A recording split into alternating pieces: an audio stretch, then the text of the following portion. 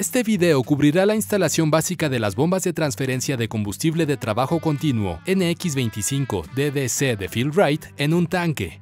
Estas bombas están equipadas con la tecnología patentada Nextex Intelligence de Fieldright. Primero, mida la profundidad de su tanque para comprar la longitud adecuada de tubería para su tanque. Recomendamos una tubería de hierro negro de 1 y cuarto pulgadas para su tubería de succión. Corte la tubería por lo menos 3 pulgadas antes de la parte inferior del tanque en un ángulo de 45 grados para asegurar un flujo libre hacia la tubería de succión. Limpie los residuos que queden después de cortar la tubería para evitar que entren virutas metálicas en la bomba. Primero, desmonte el adaptador de tapón de la bomba. Deje a un lado la rejilla suministrada y selle. Luego, aplique sellador de roscas a las roscas de la tubería y del adaptador de tapón. Luego, enrosque la tubería en el adaptador de tapón hasta que quede apretado a mano. Con una llave para tubos, dé una vuelta y media o tres vueltas completas después de apretar con la mano para garantizar un cierre hermético.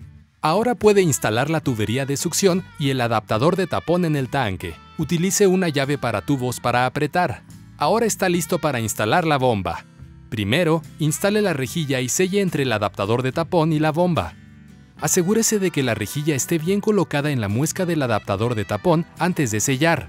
Si no se coloca correctamente la rejilla, pueden ocurrir fugas de líquido. Luego monte la bomba en el adaptador de tapón y fíjela con los cuatro sujetadores suministrados. Es posible que se necesiten dos personas recomendamos instalar los sujetadores en orden diagonal para asegurar que el sello y la bomba se ajusten correctamente al adaptador de tapón.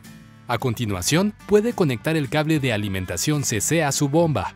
Examine el cable de alimentación e identifique el lado plano. El lado plano del cable debe estar alineado con el lado plano ubicado dentro de la conexión del puerto de alimentación de la bomba.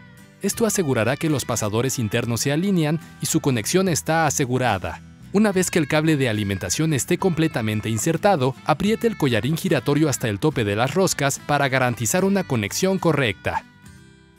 Por último, coloque la envoltura de boquilla en la placa del interruptor y fíjela con los sujetadores suministrados. La envoltura de boquilla tiene dos posiciones disponibles. Gracias por ver este video de instalación de Feel Right.